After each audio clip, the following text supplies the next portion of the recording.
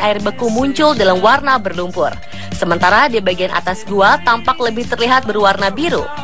Karena adanya gerakan yang cepat dari gletser yang mencapai kecepatan sekitar 1 meter per hari di medan yang tidak rata, menyebabkan terjadinya keretakan pada bagian ujung secara vertikal.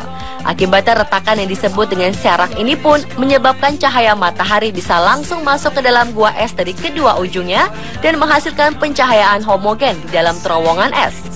Untuk berjalan di dalam gua ini, kita dapat mengambil akses melalui sebuah pintu berukuran sekitar 7 meter dari garis pantai. Pada akhirnya gua ini pun mengecil hingga ukuran yang mencapai tidak lebih dari 120 cm saja. Meskipun tampak indah dan menakjubkan, gua ini sebenarnya berbahaya untuk dimasuki. Hal ini karena strukturnya yang labil dan dapat runtuh setiap saat.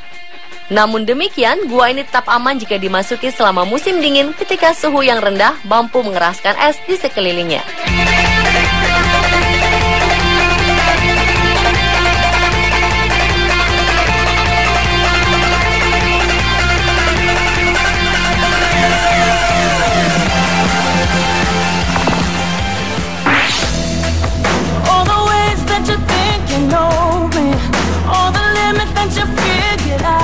Penampakan sebuah gelombang air raksasa yang kaku dan membeku mungkin akan membuat kita merasa heran sekaligus takjub. Sebab banyak di antara kita yang mungkin akan membayangkan jika gelombang es ini terbentuk dengan sangat cepat, di mana sebuah ombak air raksasa tiba-tiba membeku dalam hitungan detik saja. Faktanya, ombak yang membeku ini tidaklah tercipta dalam waktu yang singkat, melainkan hasil dari proses alami yang sangat lama. Adanya formasi es berwarna biru yang ajaib ini menjadi bukti kuat jika gelombang es ini tidak diciptakan langsung dari ombak yang tiba-tiba membeku. Menurut penelitian, frozen wave memiliki warna kebiruan karena terbentuk dari formasi gelombang yang terbentuk secara perlahan-lahan dari waktu ke waktu. Proses membeku dan mencair yang silih berganti dari tahun ke tahun telah memberikan formasi halus seperti sebuah ombak yang membeku. Selain sajian menarik dari Frozen Wave, Antartika juga memiliki keajaiban lain berupa menara-menara tinggi yang terbuat dari es. Berlokasi di Gunung Erebus, Antartika, ratusan menara es ini berdiri kokoh hingga mencapai ketinggian 20 meter. Terbentuknya menara es ini disebabkan oleh pertemuan unik antara api dari dalam perut bumi dengan es di permukaannya secara terus-menerus. Akibatnya, uap vulkanik pun membeku di bagian dalam membentuk lapisan es yang semakin meninggi.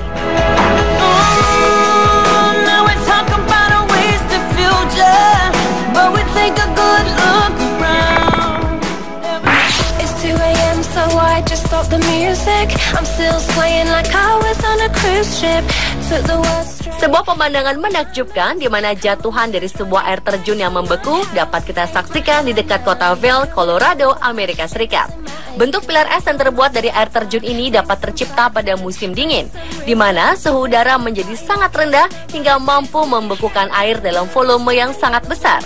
Karena proses membukunya air terjun ini memakan waktu yang cukup lama, pilar es pun menjadi semakin besar dari volume air terjun yang setiap saat mengalir melewatinya.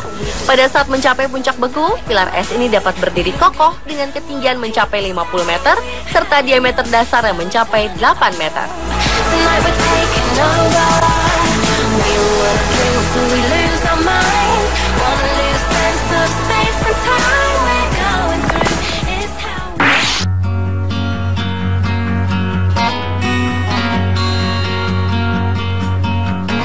Bergerak ke benua Amerika bagian selatan, tepatnya di perbatasan antara Chile dan Argentina, kita akan menemukan pemandangan yang tak kalah unik. Ribuan pilar es dengan ujung yang runcing terbentuk secara alami di wilayah Ranges Andes, sebuah dataran tinggi yang terletak sekitar 4.000 meter di atas permukaan laut. Paku-paku es yang disebut dengan penitentes ini memiliki ketinggian bervariasi, mulai dari beberapa sentimeter hingga mencapai ukuran 5 meter, dan menciptakan sebuah pemandangan seperti hutan es yang sangat lebat. Satu hal yang menarik dari Penitentes adalah bentuknya yang unik, di mana terdapat bagian es yang runcing dengan sisi tajamnya selalu menunjuk ke arah matahari. Hal ini dapat terjadi karena bagian es ini mendapatkan panas yang cukup saat matahari bersinar, sementara bagian lainnya tetap membeku karena tiupan angin yang sangat dingin. Sesuai dengan pengamatan ilmiah, sinar matahari yang jatuh menimpa es mengakibatkan terjadinya defleksi di dalam es sehingga mengakibatkan es mencair secara tidak merata. Akibatnya, bagian-bagian es yang tidak meleleh melahirkan bentuk patung berbentuk aneh yang dikenal dengan sebutan penitentes.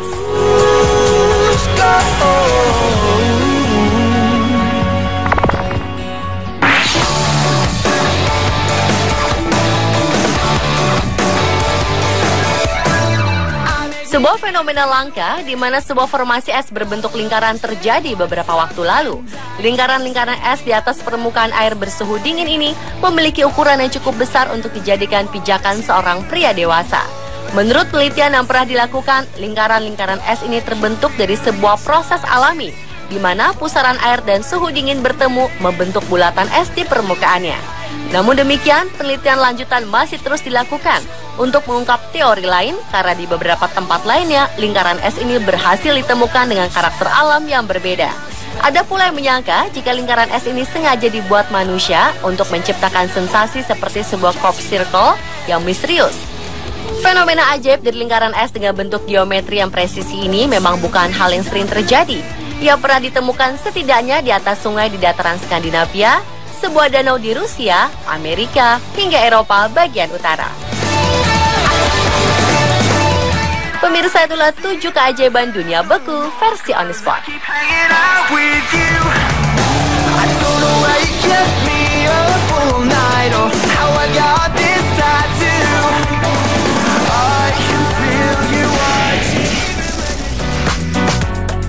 Siapa bilang hanya manusia memiliki akal? Hewan-hewan berikut ini akan membuktikan bahwa mereka juga bisa memakai akalnya dalam beraktivitasnya sehari-hari.